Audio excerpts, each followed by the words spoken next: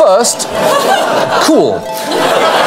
And, and second, you know, a, a lot of people think that the most dangerous job in the world is prison guard or fighter pilot. Now, now to put a strong word in for guy whose job is to throw Putin's daughter way up in the air and then hopefully catch her.